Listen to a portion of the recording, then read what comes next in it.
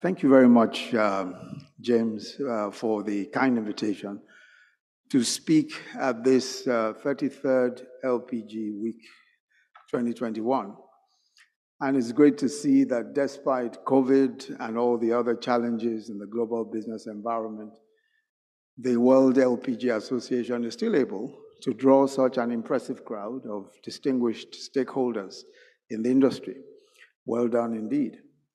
But perhaps this impressive turnout also speaks to the collective desire to exchange innovative ideas on the future of the LPG business and discuss the unparalleled growth, potential, and all that it offers for, especially for clean energy transitions and equitable development. So perhaps one may begin by stating uh, the obvious. We are today confronted with a frightening climate crisis, and we have no choice but to take the threat to our planet seriously, faithfully abiding by the global agreements on limiting global warming to well below 2 degrees Celsius from pre industrial levels. Second is that for developing countries, unlike the rest of the world, the transition to net zero emissions poses two not one, existential problems. Aside from the climate crisis, we have the problem of lifting millions out of extreme poverty, and access to energy is a huge part of that. There are still close to 600 million Africans without access to electricity. And for the few with access to electricity, it's either unreliable due to lack of generating capacity and infrastructure, or unaffordable due to high prices. But a more important aspect of that problem is that 2.6 million people globally are without access to clean cooking solutions, including over 900 million in Africa. In fact, this energy poverty nexus has distinct gender characteristics as well. A report from the WHO uh, revealed that about 4.3 million people die annually from inefficient cooking practices, using polluting stoves paired with solid fuels like charcoal and kerosene. And you know, several thousands of that statistic come from sub-Saharan Africa, who die annually from firewood smoke, making it the third highest killer in, in sub-Saharan Africa after malaria and HIV. This population is mainly women and children. So there's clearly an urgent need to transition from these fatally hazardous fuels to cleaner energy. And there's an easy answer.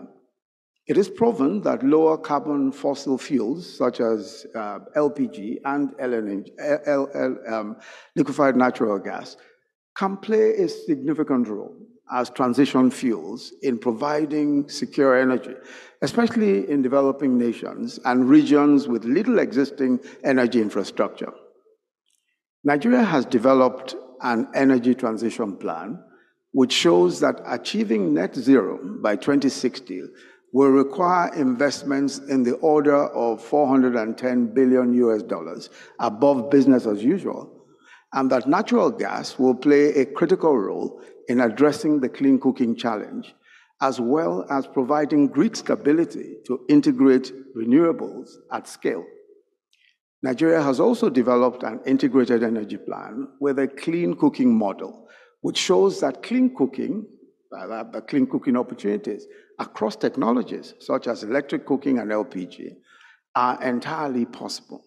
Now, this model shows that there is an opportunity to transition at least 5 million households to LPG solutions, which will cut emissions by 30% compared to business as usual, reduce other pollutants by 90% or more, and avoid 6.9 million kilograms of forest loss from biomass collection. Also, LPG remains an ideal fuel to support the journey to renewables as of course we know it's not, uh, it is very easily stored. It doesn't degrade over time. It requires no heating or complex filtration to keep the fuel in a usable condition and does not constantly boil off. So for a, for a gas-rich country like Nigeria, with over 206, uh, 206 uh, million TCF of proven reserves and an additional 600 TCF of, of scope that is yet to be proven, it's evident that what makes the most sense from the point of view of balancing energy security with, env with environmental sustainability is the use of LPG, at least as a transition fuel. And this is why it is worrying that a growing number of wealthier nations have banned or restricted public investments in fossil fuels, including natural gas. Such policies do not often distinguish between the different kinds of fossil fuels, nor do they consider the vital role some of these fuels play in powering the growth of developing economies, especially in sub Saharan Africa. As development finance institutions try to balance climate concerns against the need to spur equitable development and increase energy security, the United Kingdom, the United States, and the European Union have all taken aggressive steps to limit fossil fuel investments in developing and emerging economies. The World Bank and other multilateral development banks are being urged by some shareholders to do the same. The African Development Bank, for instance, is increasingly unable to support large natural gas projects in the face of European uh, shareholder pressure. Although all countries must play their part in the fight against climate change, a global transition away from carbon based fuels must account for the economic differences between countries and allow for multiple pathways to net zero emissions. The world should not have to choose between energy poverty and climate change, as this can be addressed with both natural gas and LPG as transition fuels alongside other renewable sources. For countries such as my own, that is rich in uh, natural resources but still energy poor from the point of view of access, the transition must not come at the expense of affordable and renewable energy for people, for cities and industries. On the contrary, it must be inclusive, equitable, and just, which means preserving the right to sustainable development and poverty er eradication as enshrined in the global treaties, such as the Paris Accord. Nigeria's energy transition is tied to adopting and domesticating all forms of cleaner energy sources, from household use to commercial use, and these cleaner energy systems include uh, solar uh, for electricity, waste to energy, wind energy, hydropower, and of course, natural gas. This explains our efforts as a country to ensure the successful implementation of our domestic LPG expansion initiatives.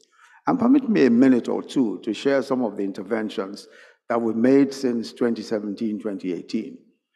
We have an LPG policy as part of our national gas policy. And this is effectively transiting the household domestic cooking segment from a consumer cylinder owned model to a marketer cylinder owned model, where the marketers will be responsible for the distribution and retrieval of cylinders. We established uh, the National Gas Flare Commercialization Program, this would enable third-party investors to set up stripping plants and deliver more volumes of LPG to the domestic market. We also have specific provisions in our new Petroleum Industry Act 2021 that elevates LPG as the fuel of choice compared to other competing fuels. We've also set a target of consumption of 5 million metric tons of LPG by 2027 and we've established a 20 million cylinder injection scheme. And 5 to 10 million of these are to be introduced in pilot states of, of the country beginning next year.